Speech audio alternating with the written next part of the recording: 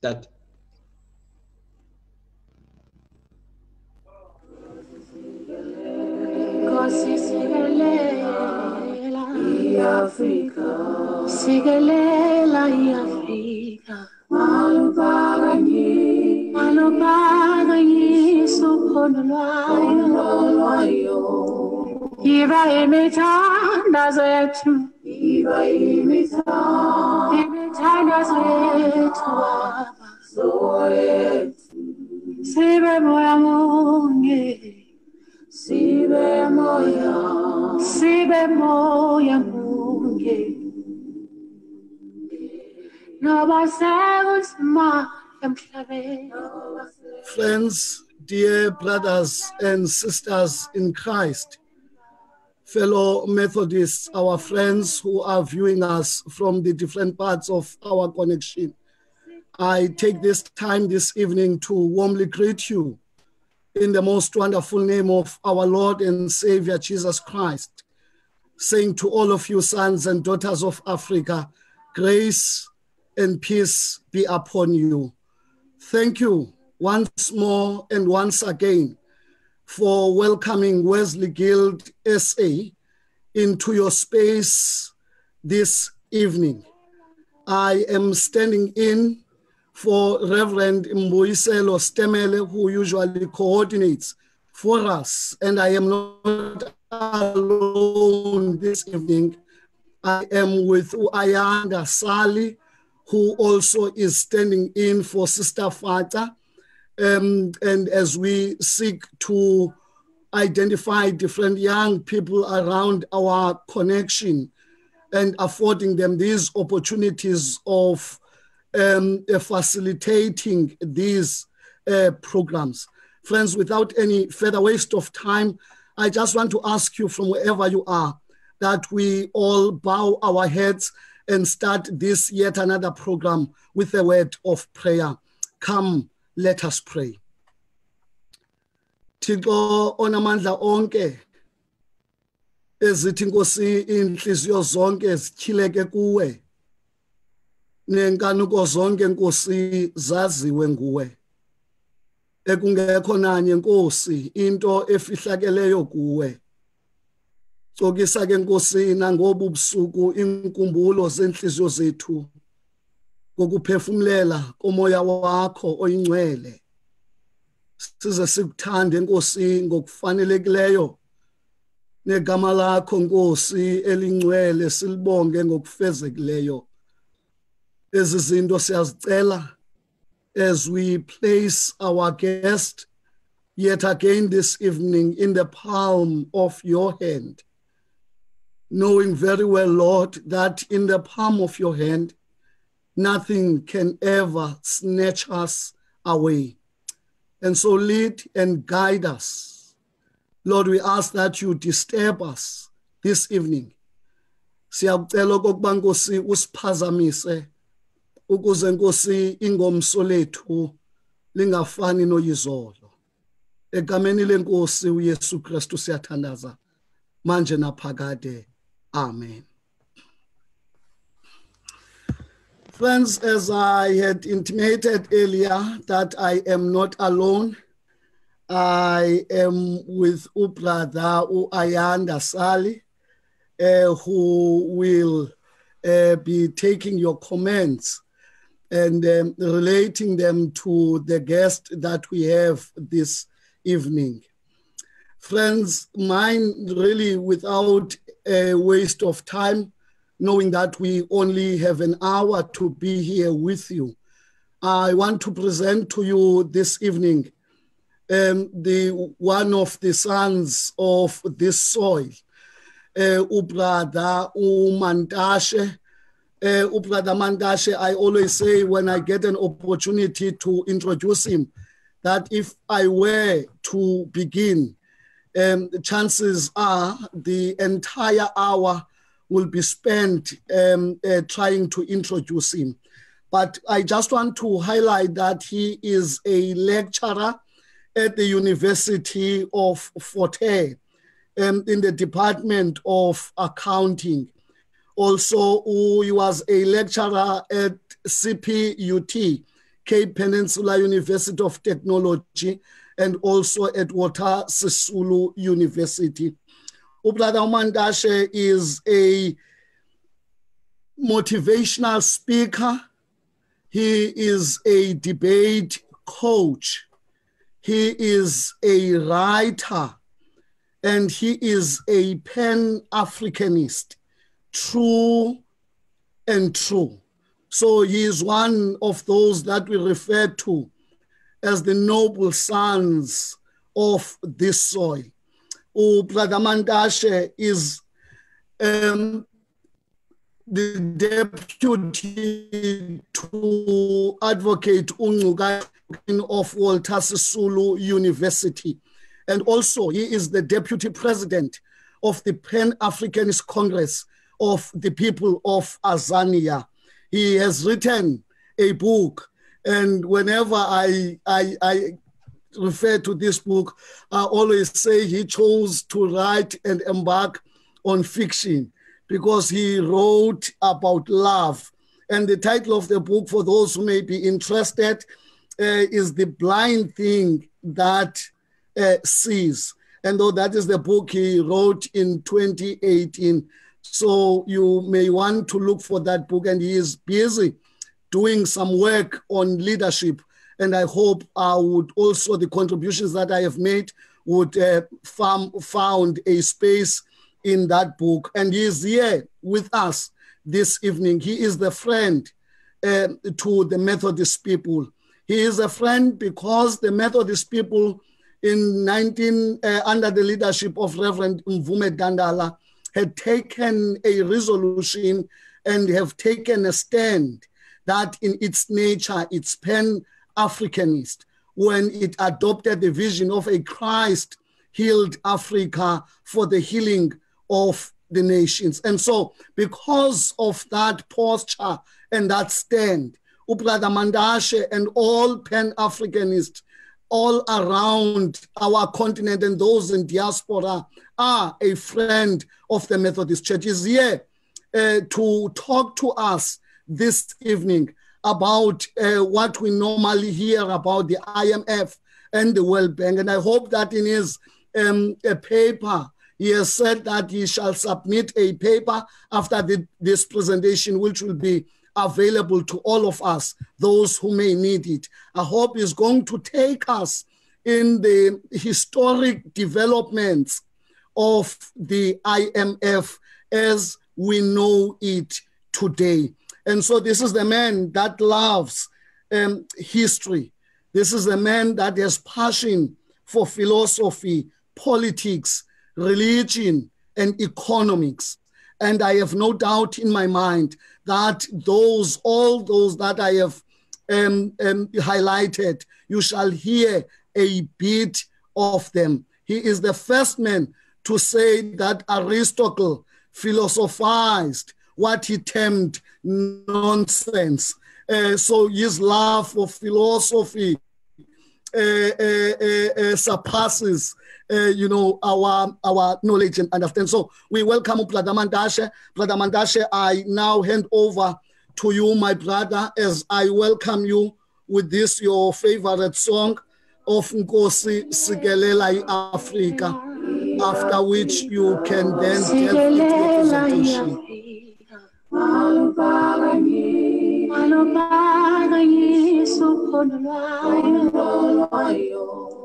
Iva imithandazo yethu Iva imithandazo yethu Sibe moya munye Sibe moya Sibe moya munye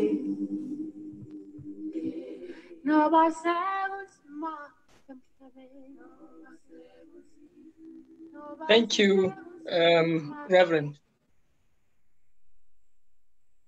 Yeah, thank you, Reverend.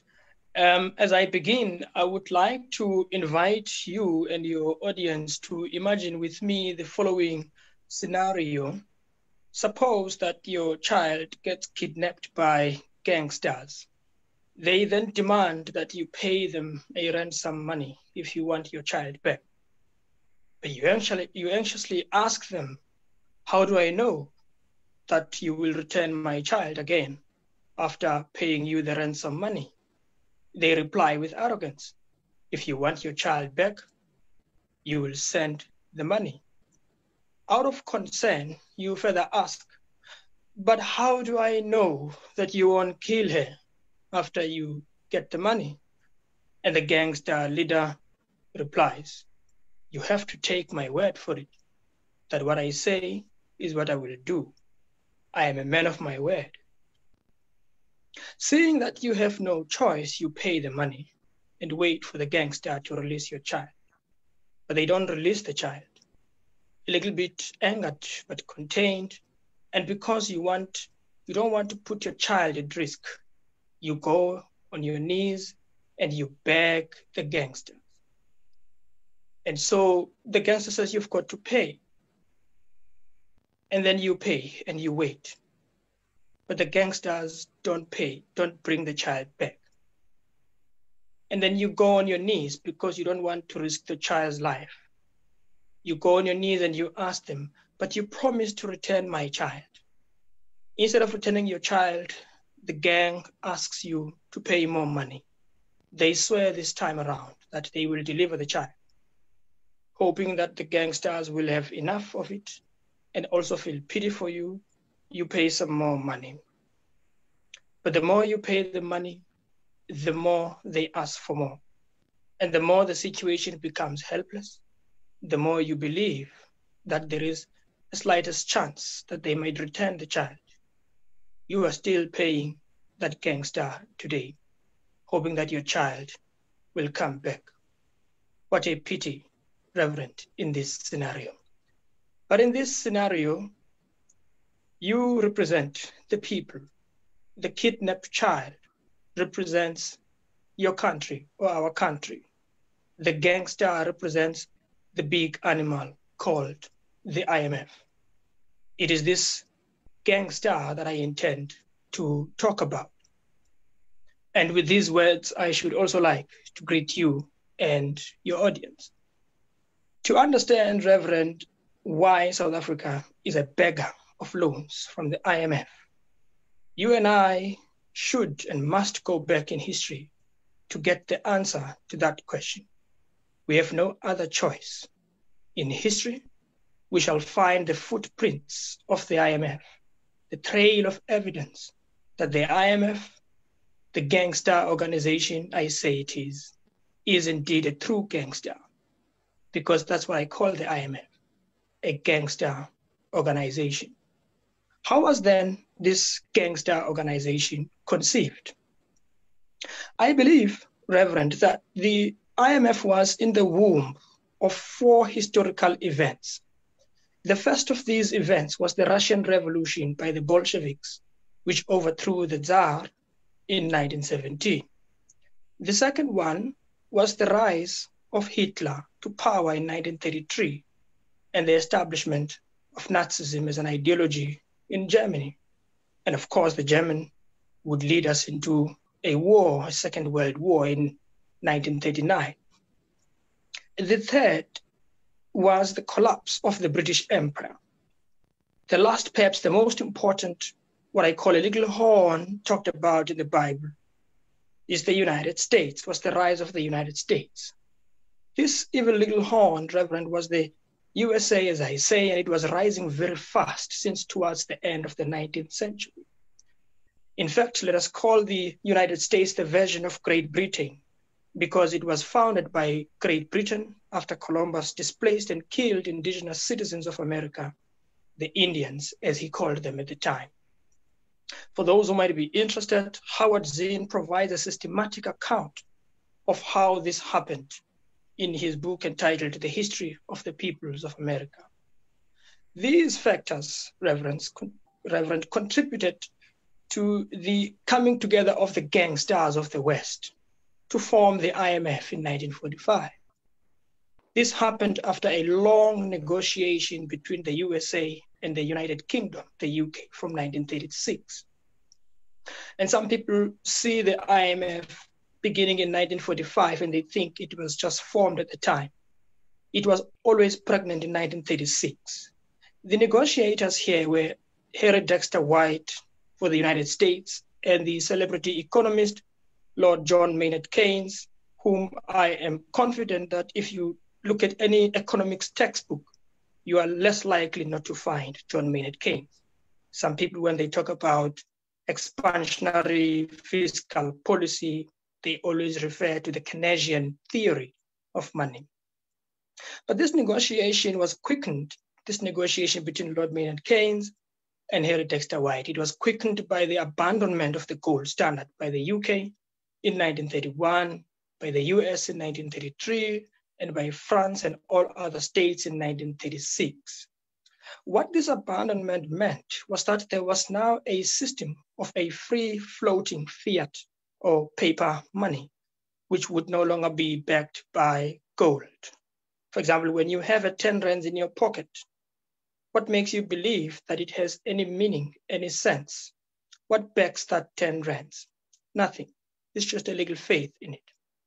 This allowed countries to cheapen their currencies in an attempt to increase their exports to other countries. In a sense, you can call this the currency wars of the 1930s. And we know, Reverend, that uh, these days there are currency wars between the United States and China. And some of these currency wars could even be partly responsible for the COVID 19 we see today. So, in a historical finance economic sense, these gangsters or kidnappers wanted to fix what they called an exchange rate to solve these currency wars. I'll say something about these exchange rates a little bit later. But what were, in the meantime, the unwritten principles or rules of the IMF?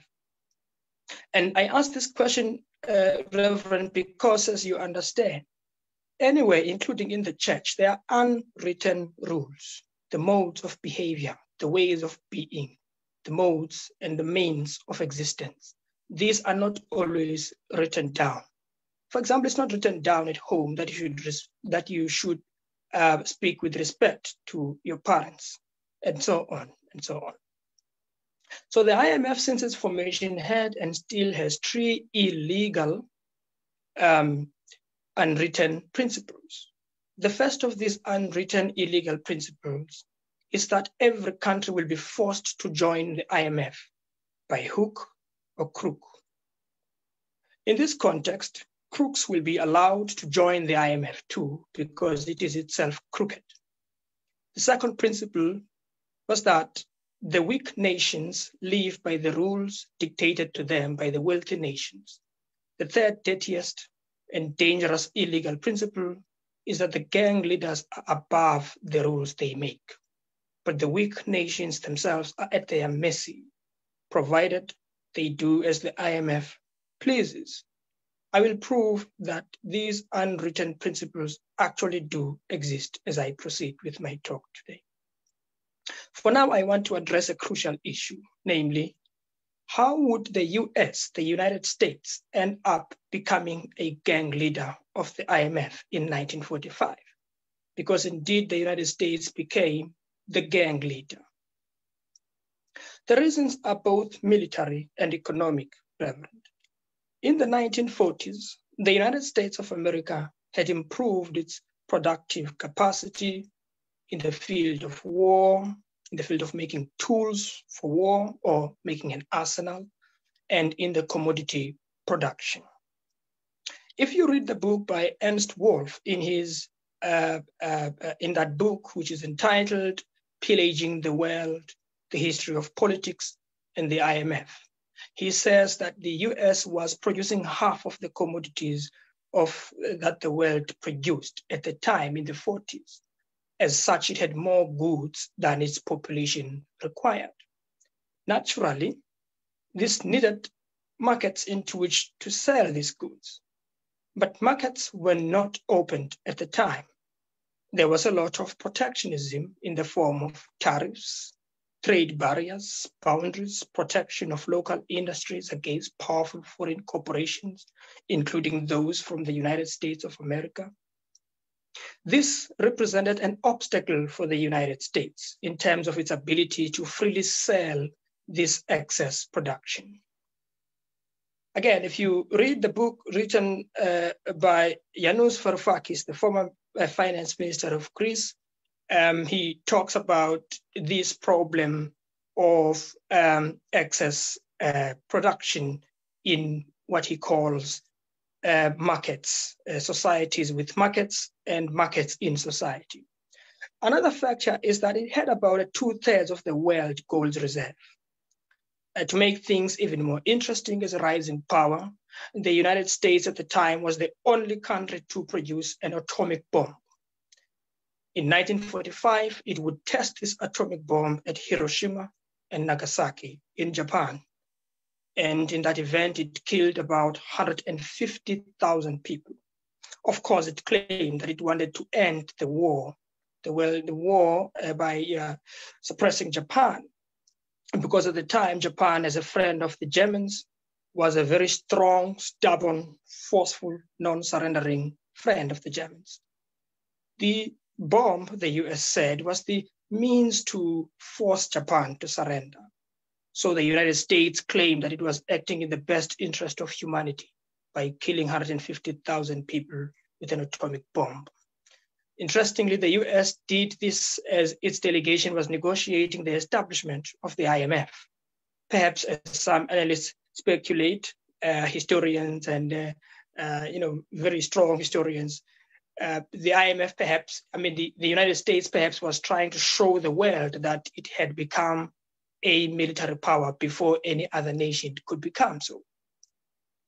But what actually gave the United States the power to direct world events, Reverend, including uh, you know, influencing the formation and the nature of the IMF and the World Bank in 1945 was that it had, be, it had been a creditor before the war. In other words, countries borrowed money from the United States before the war because they were crippled after the First World War.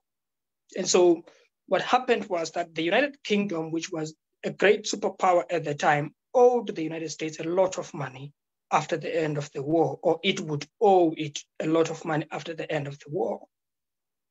But the United Kingdom was owed a lot of money by France.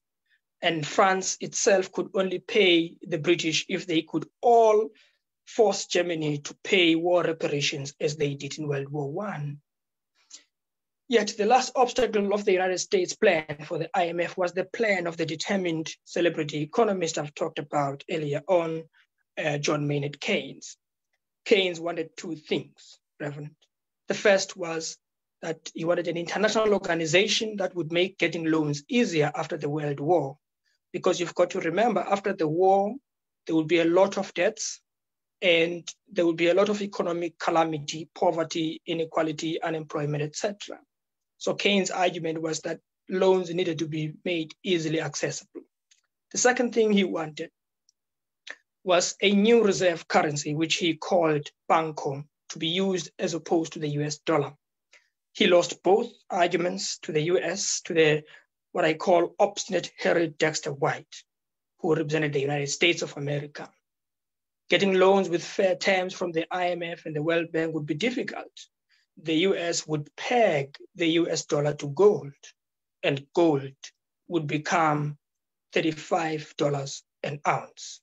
And that would be the second beginning of the gold standard, which collapsed in 1914 before the war. All other currencies of the world would be pegged to the dollar, which was itself pegged to the gold. If I can say this in layman's terms, this fixed exchange rate would cause governments to stop printing more money than there was gold in the shelves. So money was backed by gold. It was not just illegal 10 rands in the pocket backed by illegal faith in its use. It was backed by gold. And during crisis, people could redeem their money in gold. That was the proof and that is precisely why in 1929, in the 20s, during the stock market crash, there was a serious problem with the gold standard. People rushed to the bank and demanded gold. They said, take your papers back, give us our gold. And effectively, uh, the gold, that is, that is why gold, even today, Reverend, remains a hedge, you know, as we speak today. It, it, it, it remains a protectorate, if you like. And money is not. Money is actually meaningless. If you don't believe me, look no further than Zimbabwe. Paper money, filling a suitcase to buy a loaf of bread. Papers, paper money means nothing. Gold has more material and commercial value than a piece of paper. Someday, maybe, Reverend, we will talk about the gold standard, uh, but not today. What I have said so far is sufficient, at least, to get us to the crux of the issue, namely, what were the principles and aims of the IMF, at least those on paper? Because I've already explained to you those that were not on paper, the illegal unwritten principles. On paper, the IMF was formed to deal with the problem associated with floating exchange rate. It was also formed to help countries fix their balance of payments problems um, and promote economic growth and employment. For the benefit, Reverend, of those who may not know this concept because they, not, they are not students of economics, I shall endeavor to explain. And at this point, perhaps I should say, Reverend, that it is my considered point of view that everybody should learn history, economics, politics, and philosophy by force at school. It should not be an option to learn history and economics. As, as uh, Varoufakis says, economics is too important to leave to the economists. So the exchange rate maybe can be summarized by a simple example, just to assist your audience. We have the rand here in South Africa as our currency. They have the dollar there in the US as their own currency. To buy a US product that costs a dollar would require you to have about 17 rands. In other words, you need to have more rands to buy a single dollar. But the challenge is that the rand is always doomed and weaker in comparison to the dollar, as with other foreign currencies, because we buy too many things, Reverend, from the US and the rest of the world, such as China and Japan and the UK. In this way, the dollar becomes stronger because of the demand for its product by the rest of the world. This makes the rand grows weaker and weaker for as long as we buy things from abroad than buy things from South Africa. It also means it also makes its power depend on constantly changing foreign commodities. That's why another economist once lamented that if the United States starts coughing, the whole world catches the flu. Think of it this way people in the rural areas have to travel to town and go and spend their money on groceries because they don't have the things they need in their locations. In this way, Rural areas remain poor because there is no economic activity taking place there. They are consumers only. So South Africa is full of consumers. It's not, it doesn't produce too many things. It consumes so many and much more. The idea of fixing the exchange rate then to return to that point and tying it to the dollar at $35 an ounce in 1945 was understood by the IMF to be a mechanism for avoiding too many changes or fluctuations in the exchange market between countries. With this idea, and because the United States had more gold and it had been a creditor and other countries' debtors before the war, so it managed to persuade the whole world to tie their currencies to the dollar and the dollar to gold because the dollar was redeemable in gold if you like, you can also say this was not just a moment of American empire coming to the fore. This was indeed 1945, an exact moment of the dollarization and the Americanization of finance of the world. All member countries suffering from balance of payment problems could be borrowed money to fix these imbalances without printing more money in their own currencies and cause inflation with the gold standard, which was obviously the gold standard beginning in 1945. Countries couldn't, you know, countries could not go on a money printing spree because those papers would become worthless, as I have said, in relation to the dollar to which they were pegged. So a country like South Africa, for example, which imports a lot of things, once you start printing too much money, it's going to become even more expensive to buy American goods. And so printing more money becomes a little bit dangerous. So the basis on which countries could be borrowed money by the gang was if the balance of payments problems were not of their own making. This was a very important rule of the IMF on paper. For you to get money from the IMF, the problems in your country should not have been made or caused by you, your recklessness, your incompetence, or things of that sort. It must be external factors.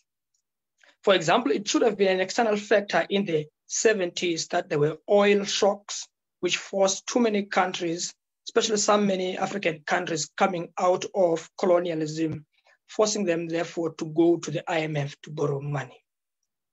For this kind of help in the form of loans, it's important, therefore, Reverend, and for your audience to ask a question, a big question. What was the catch other than borrowing and paying interest on loan? My research supervisor always tells me, he always told me when he was teaching me at some point five years ago, that there is this important question whenever we deal with any question. And he said to me, this question was, cui bono, who stands to benefit? What is the catch? The IMF, and this is the catch, demanded that each country should be a member of the fund first before it could be borrowed money. You couldn't be borrowed money by the IMF or its vicious little sister called the World Bank without being a member of the IMF first. That was the big catch. Connor and others, for example, in 1986, summarized the problem better than I could possibly do and so I should quote him as opposed to speaking from my own mind. They said, without IMF membership, no admission to the World Bank, without conformity to the IMF, then no development aid from the World Bank. But is there nowhere else from which governments can borrow money other than go to the IMF, Reverend? And this has been a question that most people have been asking, including politicians some of these politicians absolutely clueless about the question at hand. There are various options, Reverend. Governments sometimes borrow money from the public by issuing bonds and securities. In other words, people go and buy government bonds in return for interest.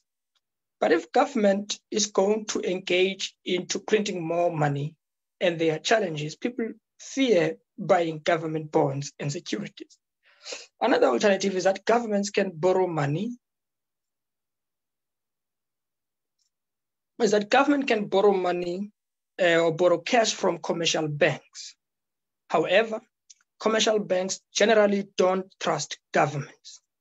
Actually, Reverend, to take you back to history again, history is replete with instances where governments defaulted on their debts, uh, debt obligations towards lenders in his book entitled The History of Finance, Niall Ferguson reports that when governments failed, for example, to pay their debts, creditor countries would literally make war with those countries to force them to pay their money. But as you know, corporations are not governments, though they produce weapons. As such, they cannot make war with governments so they choose not to borrow governments in fear of losing out as a result of bad debts. Banks come to know that certain governments are a risk by listening to the credit rating agencies, which they have themselves employed. And these credit rating agencies, three of them very big in the world, uh, are Moody's, Fitch, and Standards and Poor. As we know, Recently, Standards & Poor downgraded South Africa. A downgrade, Reverend, actually means that investors become a little bit disinterested in investing their money here. I will talk about these saints called investors a little bit later, but suffice now to say that these rating agencies are employed by big corporations and serve corporate or investor interests. If a country's rating is below a certain level, the interest either increases or lenders refuse to lend altogether. If you are less likely to pay the banks, they also charge you more interest because to them, you are not a human being, you are a business risk. That is the logic of the market, which entrenches exploitation of desperate debtors. Anyone who has gone to a bank to borrow money, uh, either for whatever reason, they know that they get charged more interest. If they don't know, now I am telling you, that's just how it is. That's just how banks operate. But that there's still more, one, one last more option of banks. I mean, one, one last option of governments if banks refuse to loan governments money. The first option is to print money, print more money. I've already showed you that the challenge with printing more money to stimulate an economy is, is that you make an assumption that the problem in the economy is money. And I want to argue that it is not necessarily money. And so that's why you can have lots of money and lots of poverty. In fact, most of the time, when there's lots of money, there's also lots of poverty.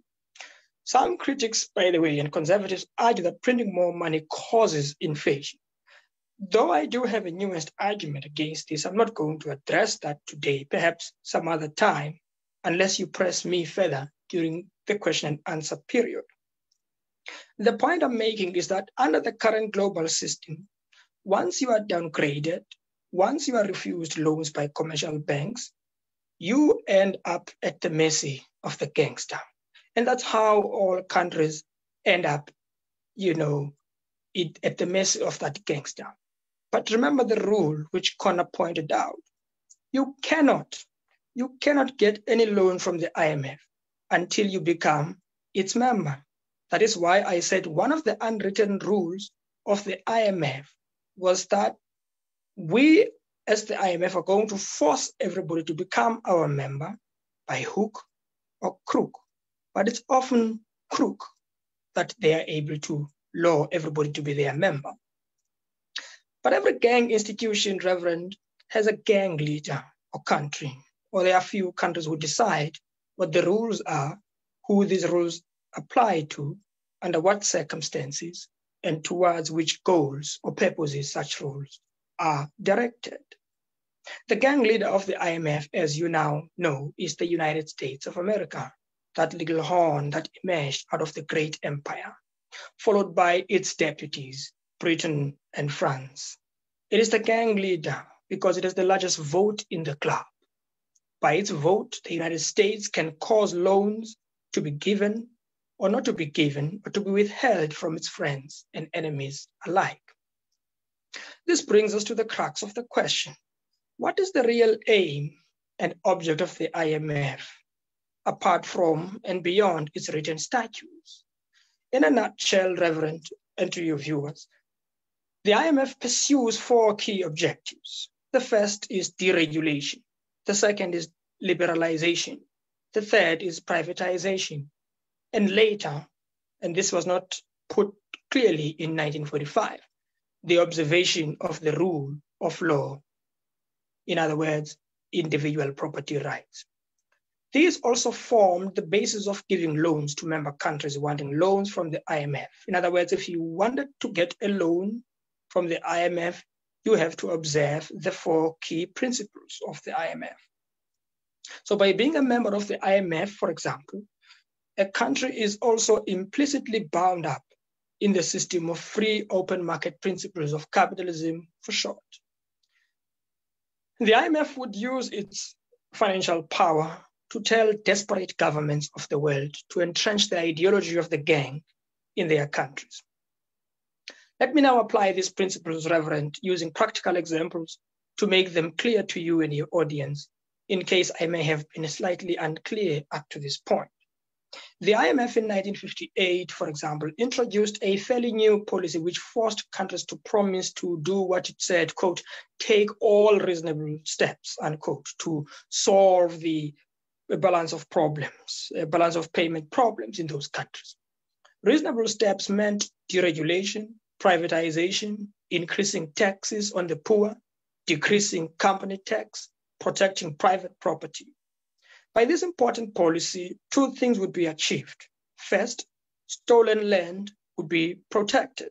In other words, white people who stole land across Africa would no longer have to give that land back because these countries, when they take over these, uh, these colonial countries in Africa, for example, there are already white people who have stolen land.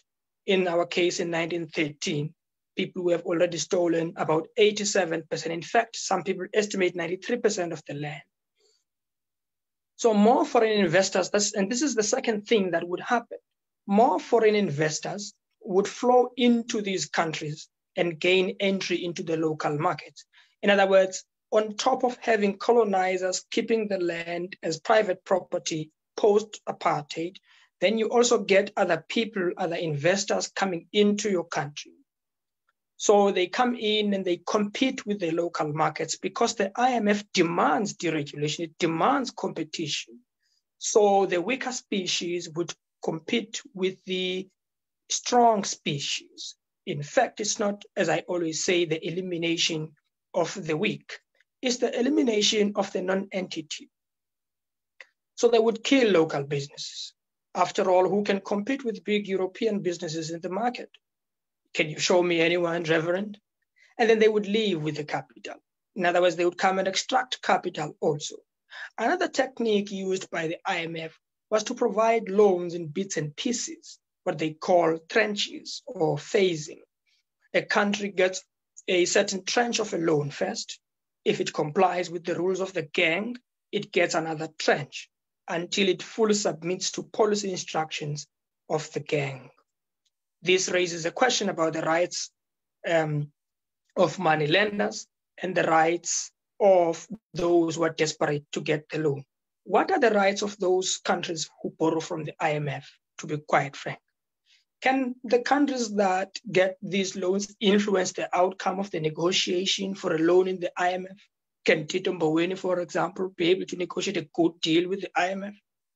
The IMF, Reverend, has about 188 member states, probably a majority of them joined by force, because indeed, I mean, the IMF is ran by r- roughly less than 10 countries, of course, with the gang leader at the top, the United States. Around 75% of the of these countries in the, in the IMF, for example, are powerless countries in terms of their voting share because money talks. The more money you have, the more voice you have. They usually say on the streets that a man who has no money has no voice. Women would say, We can't hear you because they have no money. Money talks and people listen. Thomas Sowell, another American economist, adds. In 2015, the US contributed, for example, $58 billion. Uh, this translated to about 17% voting share for the United States. Uh, besides, the country in desperate need of loans has less to no rights in the process. It is the creditors who have the rights and the powers over the weak. Of course, everybody knows the story of Shylock wanting the pound of flesh of a borrower uh, who speculated with his goods in the sea on behalf of a friend who wanted to marry a woman of a certain beauty. Uh, those who have read The Merchant of Venice will know the story I'm talking about by Shakespeare. The rules of the IMF were and are always applied to the poor people, to underdeveloped countries. The big guns do not live by the rules, Reverend. And the big guns are above the rules. They live by their interests. They are controlled and driven by interests, not their rules. To prove this point, in 1971, Richard Nixon, the then US president, decided unilaterally to abandon the gold standard. The US needed to fund the Vietnam War in the fight against communism. It had to increase its military spending. For the first time in a long run, the United States had a budget deficit. But it didn't matter. In 1973, the G10 countries decided to abolish the fixed exchange rate. Um, in other words, they decided to abandon the gold standard altogether. They decided that the exchange rate currency must now be flexible. Let markets determine this kind of problem, they said. In the same year, in 1973, a socialist government of Chile under Salvador Allende was overthrown by a US CIA supported military coup d'etat. The IMF was now financially supporting military coups and dictatorships across the Caribbean and Latin America. In Chile, for example, Salvador was substituted by the dictator Augusto Pinochet. This dictator reversed all nationalizations which had taken place thus far. So the dictator then hired Chilean economists who had studied in the United States, in Chicago. These economists are popularly known today as the Chicago Boys. These fellows studied under the economic conservatism of the Nobel Prize winner, Milton Friedman. This dictator, Pinochet, held down all the protests by violent terror. At the same time, the Chicago Boys were setting up austerity, which is a very important policy of the IMF. They were cutting spending on health, they were cutting spending on education, they were cutting uh, spending on public sector wage bill, they were cutting spending on wages, they were increasing taxes, and they were lowering corporate taxes, and they were increasing tariffs. And uh, Milton Friedman, uh, an ardent capitalist, called this a necessary, and I should quote him here so that I don't make a mistake. He called it a necessary, quote, shock therapy. In other words, to him, it was necessary for people to lose their savings and their monies just so the IMF could be paid of their debts. And that's exactly what the IMF does, isn't it? The IMF causes you to stop spending money on other things so that you can pay the debt. In many ways, this was the birth of what we today call neoliberalism the idea that governments should let markets run themselves, as if markets have no mind, have no soul, or have no interest. It is interesting also that the IMF increased the loans to the Chilean government after the coup d'etat.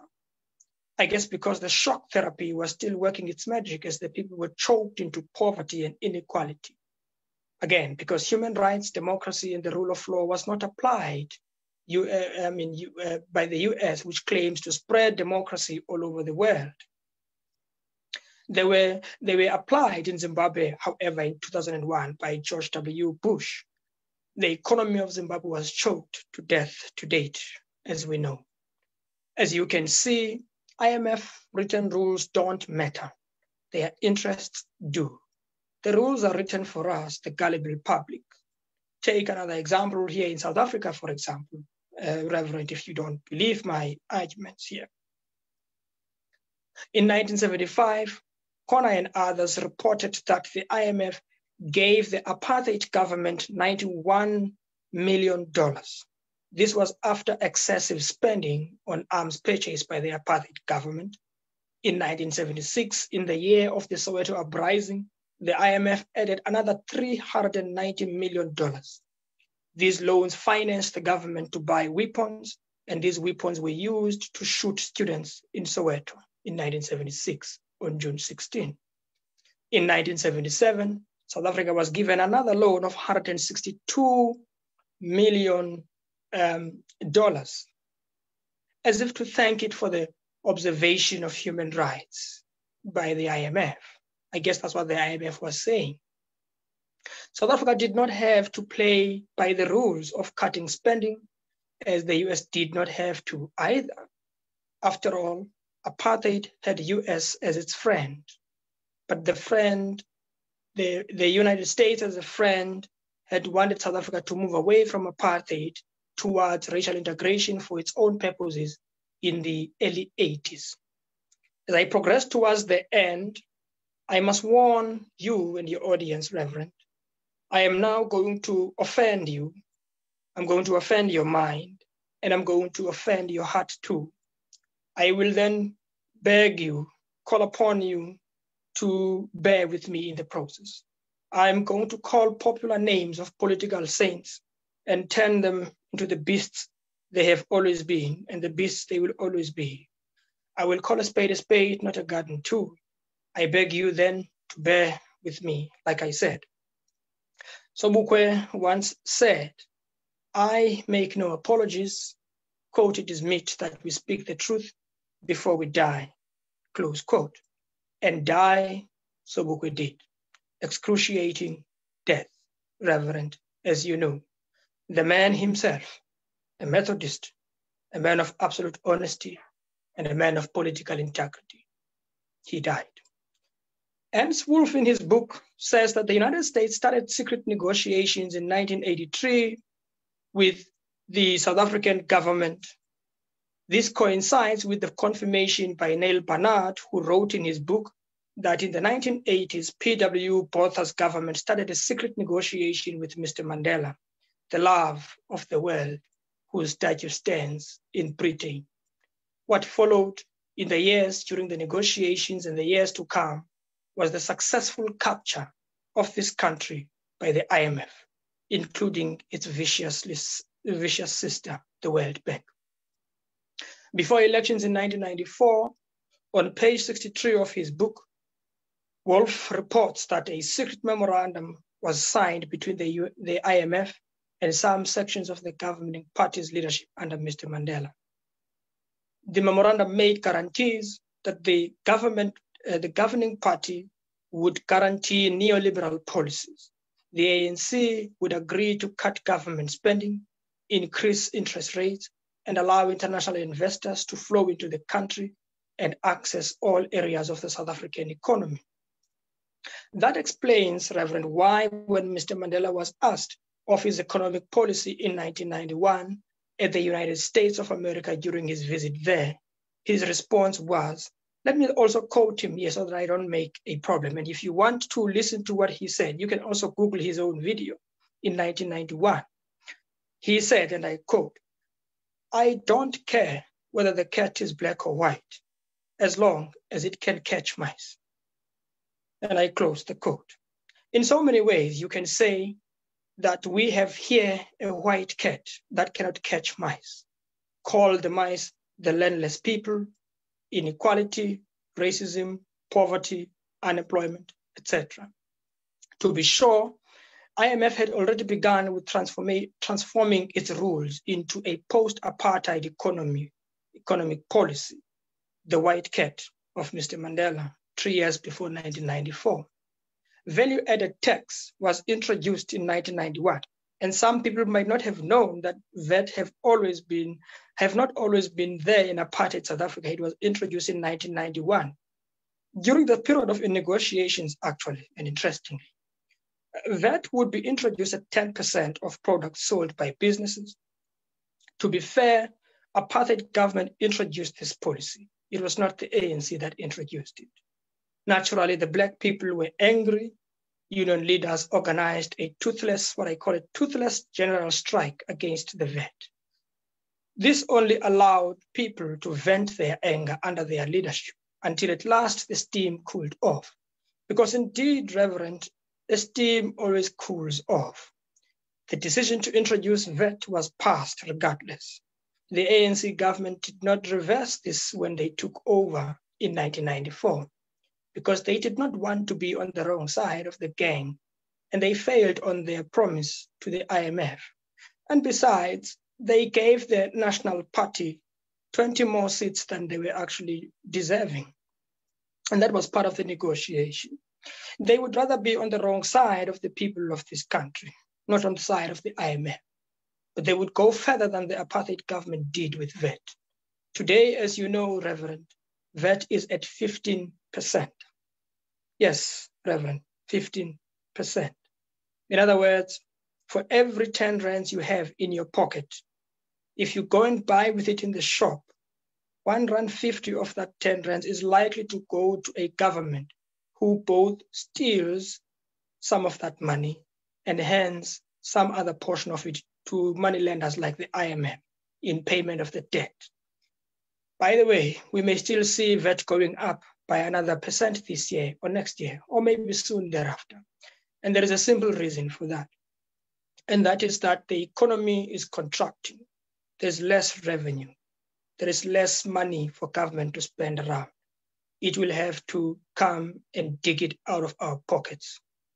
Another genius of the IMF is demonstrated by what happened after 1994 the IMF was, be, was behind the so-called RDP, which failed dismally, actually. When the governing party promised to return 30% of the commercial land to Africans between 1994 and 1999, it actually could only return only 1% of it to some few blacks, obviously politically connected blacks, and some few unconnected.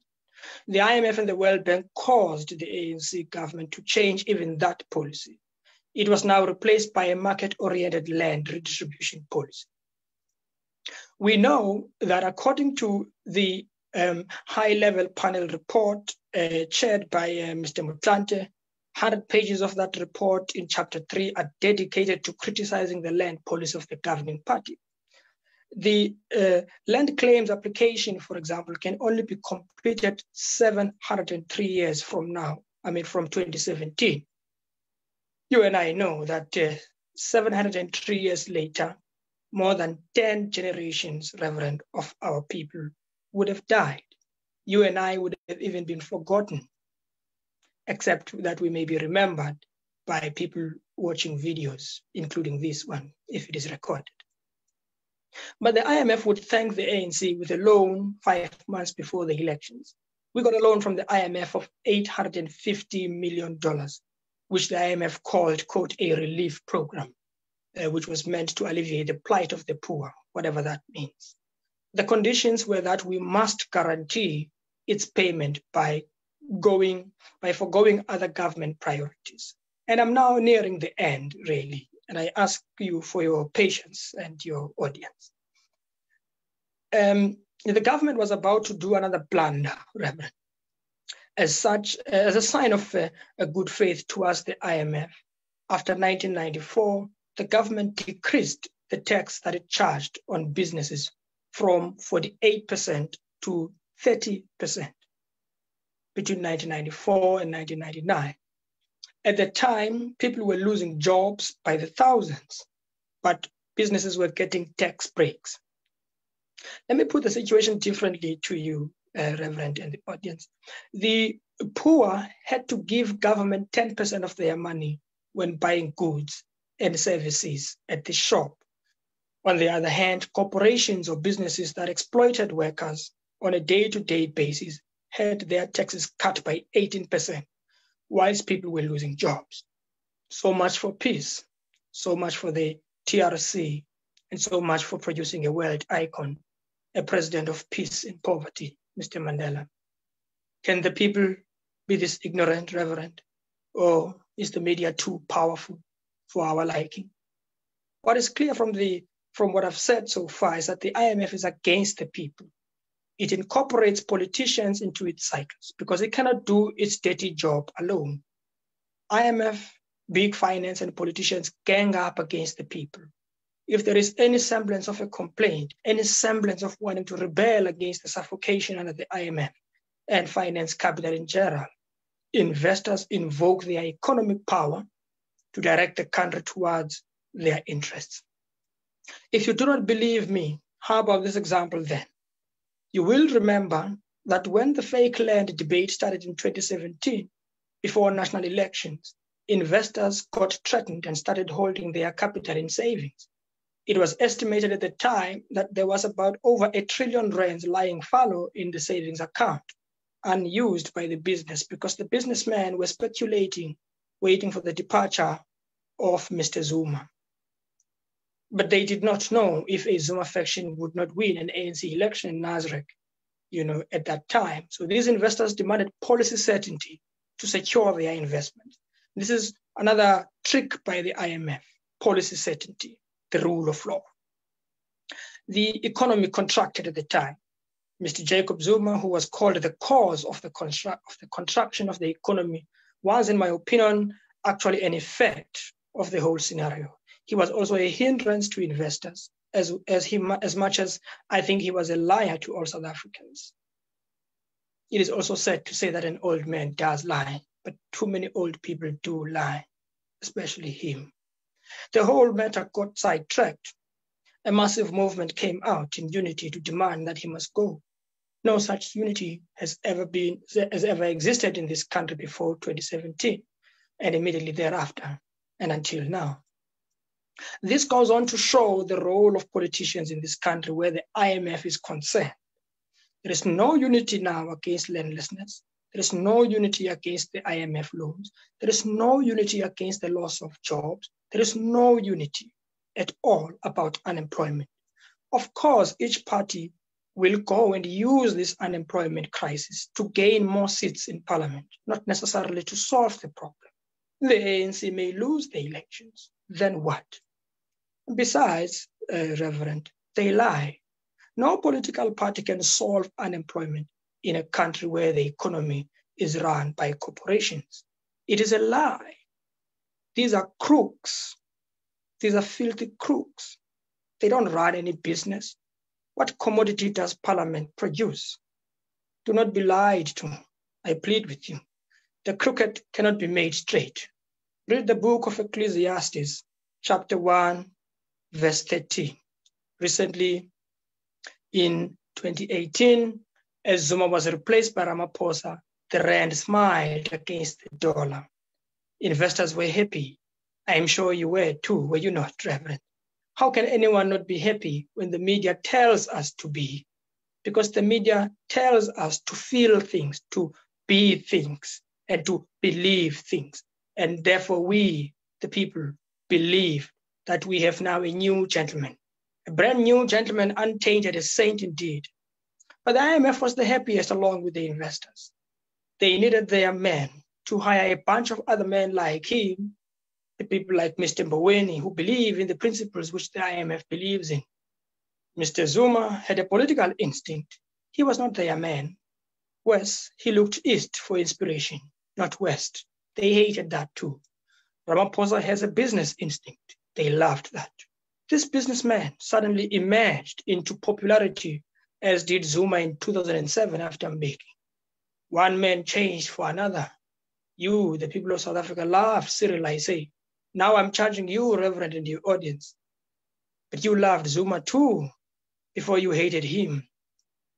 Others love Zuma now as they do Mbeki. You believed that things were going to be, you know, things were going to change after Ramaphosa. Let me let the book of Ecclesiastes, chapter 1, verse 9, speak for itself again as my witness, Reverend and I must quote it here.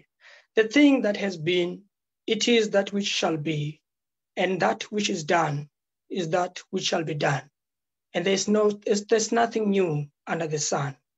So no, Reverend, and no, my dear friends, you were tricked and you blinked. You are now beginning to hate Ramaphosa too. And you will love another man. Or maybe now you will want a woman president. Or you will want a young person to be a president. But all that is vanity, vanity of vanities, Reverend. Nothing shall come of it. Again, go to Ecclesiastes chapter 1, verse 14. Under politicians and the IMF, we are chasing the wind, indeed, vanity of vanities. And we are doomed. Our children are doomed. If I am right, then I say that the great prophets, I have to say what they have said. I have to say what the great prophets have said when they were prophesying doom. One of the things they said was, Woe unto you. And so I say, Woe unto you, and woe unto the deaf ear, the blind eye, and the stubborn mind. If you believe that the crooked can be made straight, I send you again to the book of Ecclesiastes, chapter 1, verse 13. Don't pray for the IMF or for the politicians. Pray for their overthrow. That is the way to deal with the problem.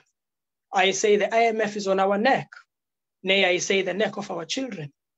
Our country won't breathe as the US cop presses, as the US police presses his knee on them in the generations to come, in the neck of our generations to come.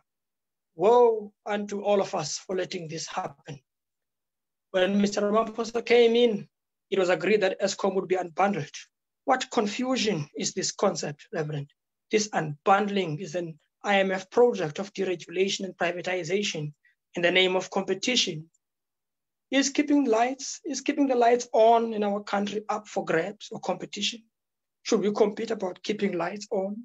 Should we throw Eskom into a competition, into the dungeon, into the abyss? What nation we have turned into if we did that? Electricity prices are going up year in, year out, Reverend to service debts that we did not know we made.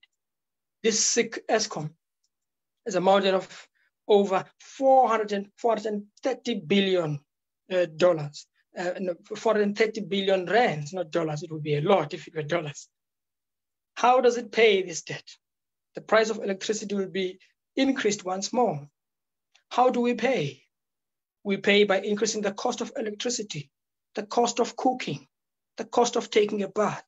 This is what it means. Over the past few years, since 2007, electricity, in my estimation, has increased by 200%, as far as I can recall. I wish I was wrong, Reverend. But who pays for this increase? You and me. And so I, I say again, like the prophets did, woe unto us. What happens if Eskom is finally sold? When it is finally sold and sent into the jungle, we are sold too to the businessman. And I then say, woe unto us, Reverend. Woe unto us again. Finally, the switching off lights will depend on whether governments make business happy. If government does not make business happy with its policies, electricity will be switched off. It will be an instrument of further directing political economic direction. In the 1920s, when the Boers, when the Boer government um, uh, and the white government caused the establishment of Eskom, they would never privatize because they knew that keeping lights on cannot be up for grabs, cannot be um, put at the whims of an individual. Woe unto us, then let me say. We have eyes, but we cannot see. We have ears, but we cannot hear. Shall we also not hear, though we have ears? Shall we also do nothing? Shall we also take no action and do nothing? Shall we let this gangster continue to kidnap our country? Shall we remain kidnapped? Will our child come back? I have said earlier, under the IMF, our child will never come back. Never come back. Will our child come back? I hope that our child will come back. But for our child to come back, we must fight or perish. Thank you.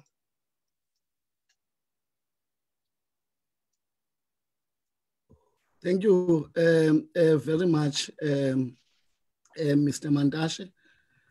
Uh, the good thing is that uh, I'm not one of those who uh, are intelligent. So, um, beauty with that is that I do not have questions. Uh, and I will be handing over to Ayanda. But as I hand over to him, I just want you to have these uh, the following questions in mind.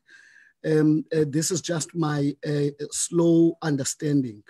One is that I know that uh, when Kwame Nkrumah spoke about neo-colonization, he touched on the uh, domination of one state by the other, and the elements that he touched on was the element of economy and the element of, of security.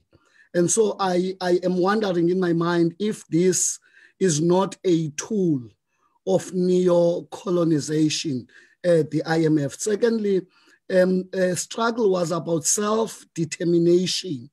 And I am now wondering, are we ever going to as these sub-Saharan countries, especially the 70 something percent that you highlighted, are we ever going to uh, get to a stage where we can then say that we are defining you know our own selves? We are chanting our own way. We we are you know um, our own destiny as as these countries and then the last uh, one could it not be that, um, as we have seen, that uh, President MNS Mnangagwa, together with his administration, have decided to pay, I don't know what they call, uh, compensate uh, uh, the farmers in Zimbabwe. Could it not be that their arms have been twisted uh, by these uh, uh, gangsters for him to reverse uh, the gains that we all celebrated um, under the presidency and the leadership of, of, of, of Reverend um, uh, uh, Mugabe, Robert Gabriel um, Mugabe. I know uh, that we are not talking about Zimbabwe here, but one of my greatest uh, uh, frustrations is that what Zimbabweans are doing would then make it difficult uh, because they will be setting a precedence. They would make it difficult for other countries uh, to, to then refuse compensation, as we know that this has been the debate even in this our beloved uh, motherland. But before you get to that, I just want to check there by U Ayanda if there are questions that are coming through because this is not my platform, but the platform of uh, Wesley Guild members. Over to you, Ayanda. Um, enkosi tata mandibulise um, to to our guest uh, Molom Africa. Um, there is a question from U Siyabulela Tonono, um, and it says, "What is the relation between military-industrial complex and Bretton Woods in the EE institutions?" I'm not sure if you you, you got that one. What is the relation between military industrial complex and the Bretton Woods institutions? Then there is a comment um, from Utumani Matiwane, Uti, the UN through its various bodies, including the IMF, changed the African agenda for liberation into human rights struggle Staunch Pan Africanists succumbed to imperial pressure when they chose to protect the property rights when they adopted the human rights regime. Those are the um, two, two things that I'm putting to you. Then I will come back with the other ones as Kupalwa peasants. Yeah. Uh, uh, my, my, my, oh, sorry. Yes. No, no, thank you. Thank you, sir. You can you can then begin to reflect. Yeah, let me let me just answer the question about what is the relationship between the uh, um, the military industrial complex and the IMF.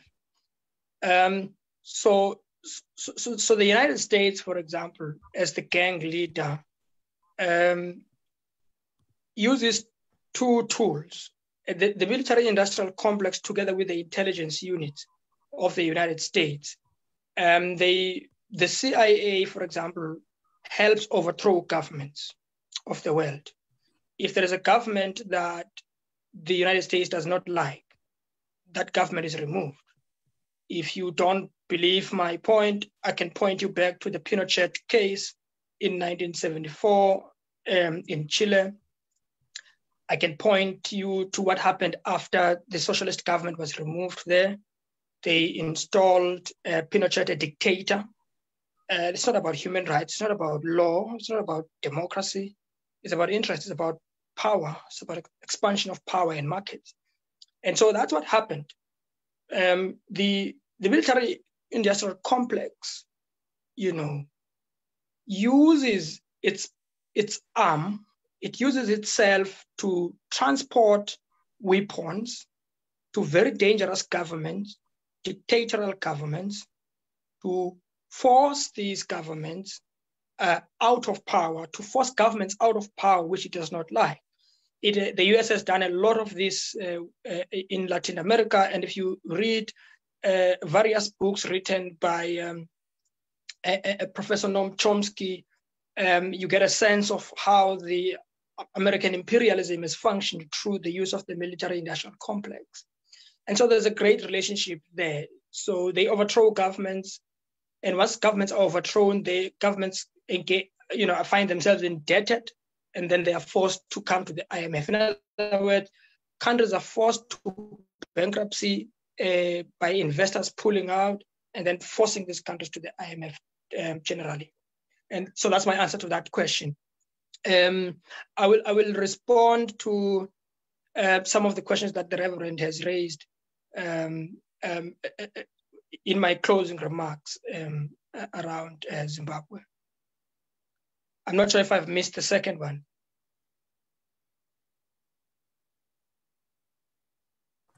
No, no, no. That that's fine, TP. I will will be. Uh, I will wait for that. Okay, great.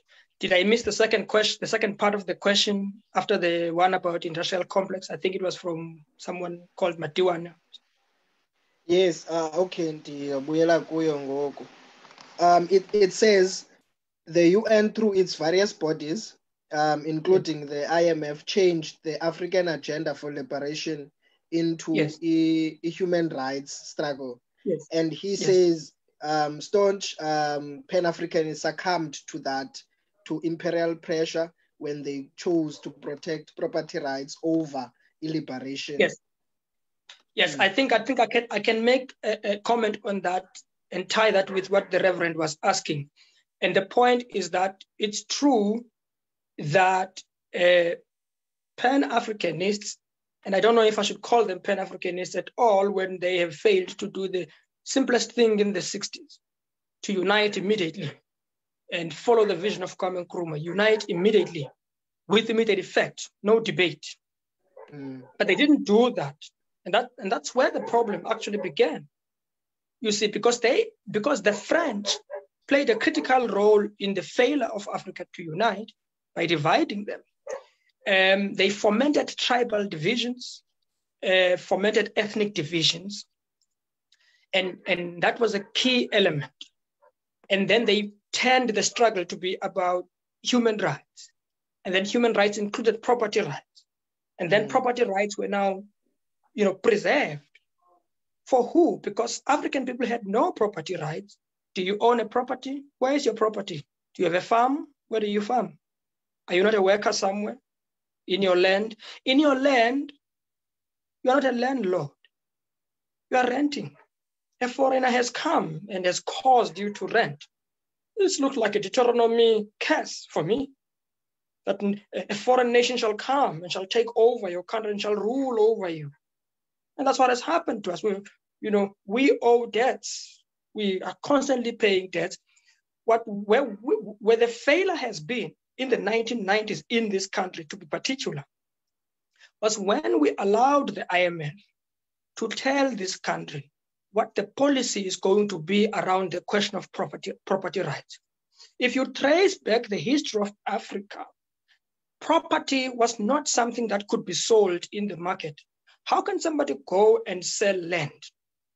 If you sell the land, where will your children live? This is wrong. This is immoral. This is a political suicide. This is ahistorical. Throughout history, property cannot be brought into the market. But we now, as a consequence, live in a society where you have to take your land and your property, you see, and, and use it as a collateral in a bank when you buy something. What I mean, what kind of madness is this? Running a state where you you you people risk the property, the only residential property they have, without ownership of any farm. And that's what happened, Reverend, in Zimbabwe.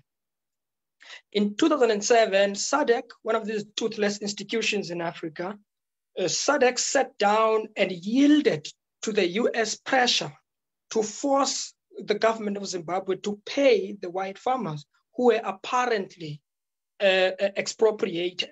And the problem is that we keep using the wrong word. We keep using the word expropriation. And when we use that word, we give power to the people from whom we're ten- taking our land back. Because the, the English, the, the, the meaning of the word expropriation in English is basically taking something by force. How can you take your land by force? This is ridiculous. Even if you go to a court of law, you will lose the case because you, you, you, you go to a court of law using a problematic legalistic concept that was not even coined by you, coined by your enemies against you necessarily. And that's the challenge. And so the United States has kept the Zimbabwean people choking since 2001 after, uh, under the Zidera Act. And it was renewed in 2018 to keep pressing and pressing and pressing. Now Mnangagwa has yielded. But Mnangagwa is a crocodile indeed, that's what they call him. But who is this crocodile eating? It's eating its own people.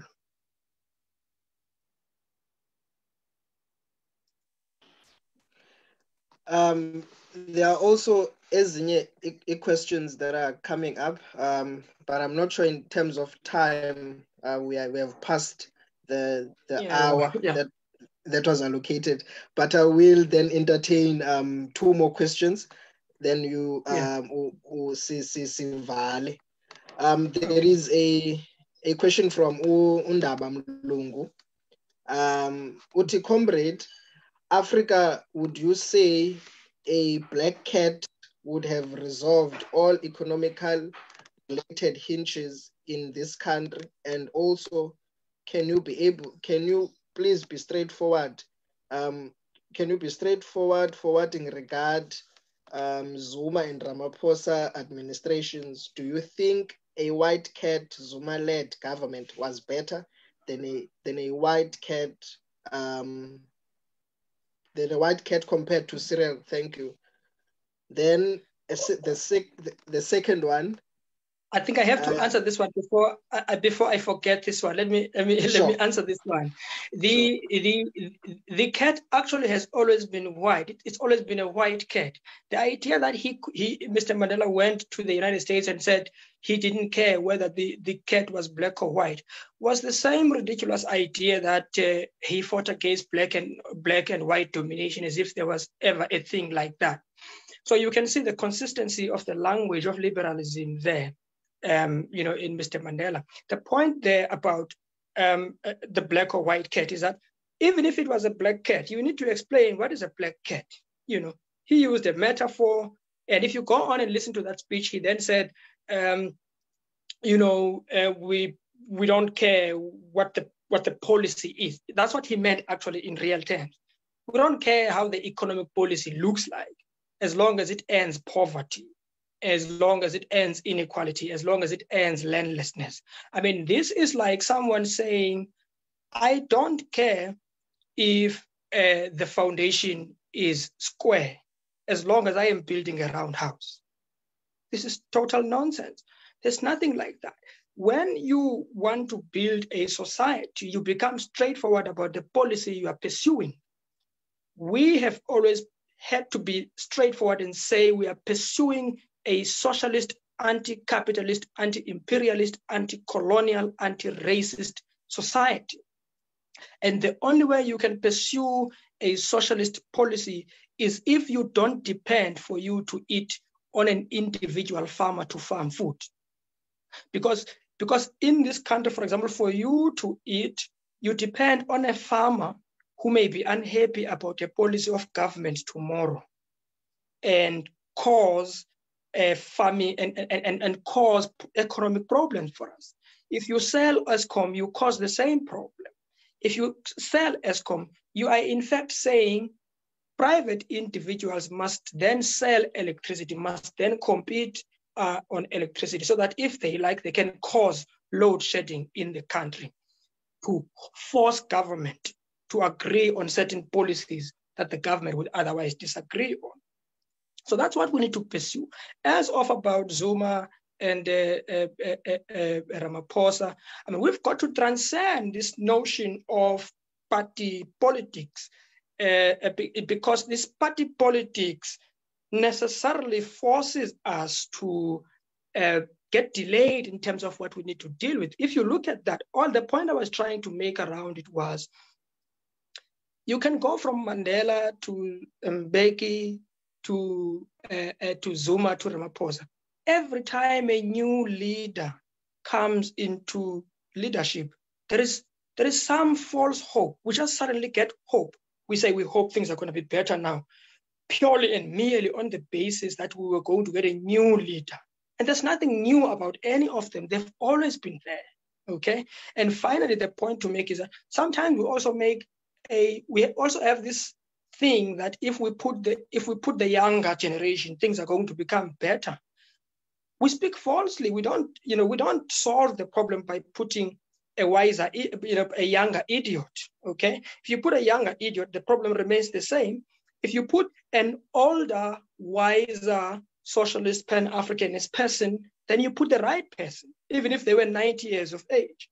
Otherwise, how should uh, someone like Abraham to look at the Bible, how should someone like that, how should he have lived about 900 years and still remained wise? Shouldn't he have been youth all the time? Thanks. Um, the, the last question, um, which speaks to um, African leaders um, and, and, and speaks about Umhlaba. Usiabulela Mtati says, what could be the real reason behind African leaders failing to return the land back to its rightful owners in Azania? Is it economically? Then the last one that I want to just uh, the the the push so that is capture what effect will the approach of occupying unoccupied land will it have on IMF here in South Africa? Those are the two last questions. Yes. Let, let, let me start with the last one. The, uh, the idea that by occupying lands uh, that are un- unoccupied, um, we will be getting closer to the problem is fallacious, it's mistaken, it's wrong, it's false. Um, there's, there's nothing wrong when people occupy the land, when it's their land, actually. And by the way, the government does not um, the government does not involve anyone when they decide that a certain land is earmarked for um, development. And this development normally means building big, um, big shopping centers where the people get exploited and where uh, things don't really improve. And therefore, there's nothing, you know, wrong, uh, in my opinion, when people take uh, land for me, I don't care about the IMF, to be quite frank with you. In fact, my, my point of view was that we need to leave the IMF. And, and, and look at it. I mean, if South Africa were to leave the IMF, most South African, most African countries would follow uh, because they apparently like South Africa and South Africa is liked elsewhere. Now, imagine if in these 188 countries, and I said earlier there are 188 countries in the IMF, and I said 75% of them have no power. Imagine if the entire 75% left the IMF and leave the US, Britain, France, and Germany and leave them alone there and establish an entirely new bank, a bank that is not going to, an institution that's not going to dictate and force governments to change their own policy. Finally, um, on the question about why, what, what could be the reason why the African leaders um, do not want to return the land. First of all, I mean, there are many reasons. One of them is that they, they simply don't believe that the land needs to be returned. They hold, along with the white people, that we don't, what are we going to do with the land? That, that's the question they ask. And, uh, and we ask the question back, what are they doing with the land? What are the ones who are keeping the land doing with it? Okay, and so, so what's wrong when we want that land? Um, and, and so it's the failure of, it's not just the failure of leadership, it's that the interests of these leaders are against the interests of the majority. That's why they are working with the IMF now to reduce what they call a public sector wage bill, where we can have about close to 30,000 people losing jobs. We've got people losing jobs at the SAA. We've got the financial sector cutting jobs, for example, by the thousands. We've got the mining sector, people losing jobs there because profits are more important. And whenever these things happen, there are leaders. There are leaders who keep quiet. Some of these leaders are union leaders. They, they get incorporated into the establishment and they pretend to be representing the interests of the people.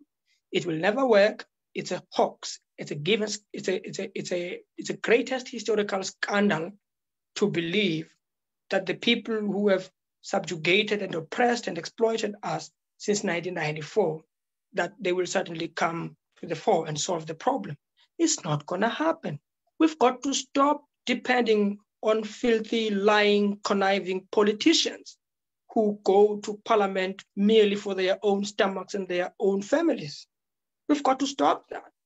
We've got to defy parliament as an institution as an institution of democracy, as an institution of freedom, and as an institution of liberation.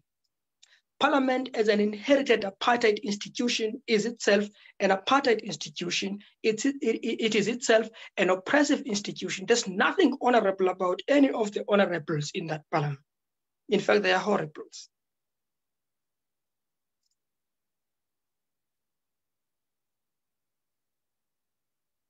Yeah. I have yielded back to you. Yeah.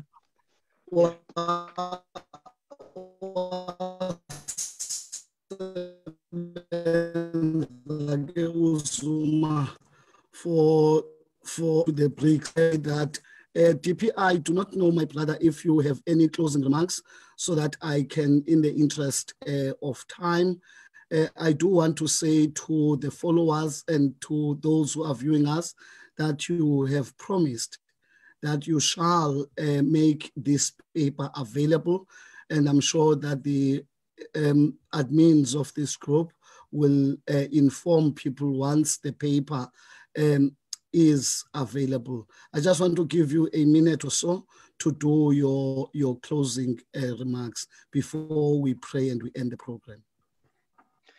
Thank you, Reverend. Uh, let me thank you and your audience for giving me audience in terms of speaking about these issues. Um, I'm grateful because this gives me an opportunity to talk about the things that I also care about and things that I think anyone who has a child or who is a child of somebody cares about them. And in closing, I'm going to say that the country, this country of ours, is kidnapped.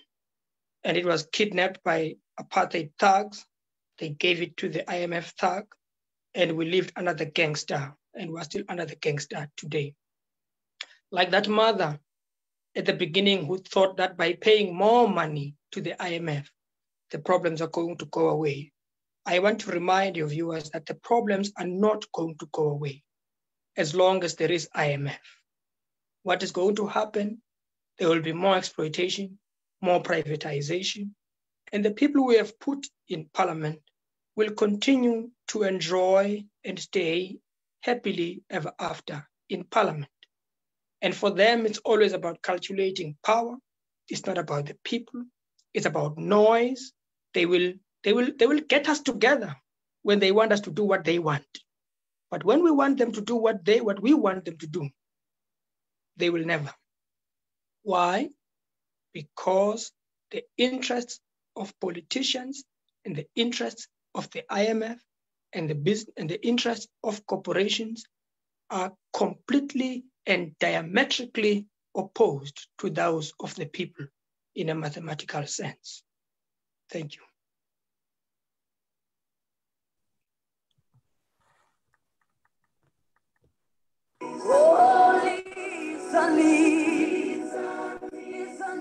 Thixo onamandla onke othe ngelixesha wasipha ufefe. Lokokuba sithi ngantliziyonye sikuthandaze ngabanye. Othe kananjalo wasithembisa ngoba wothi kokuhlangana ababini nokokuba nkosi bathathu egameni lakho ubaphe izinto abazicelayo. Yenza kaloku nkosi njengokunqwena nokuthandaza kwethu thina zicaka zakho. Njengokuba le nto nkosi kukuthandaza ifanele siphe nkosi kweli lizwe okokuba masiyazi inyaniso yakho. Uze nkosi usiphe kwilizwe elizawubakho ubomi okungunaphakade. Kwanga kungabakho ke kuni nonke.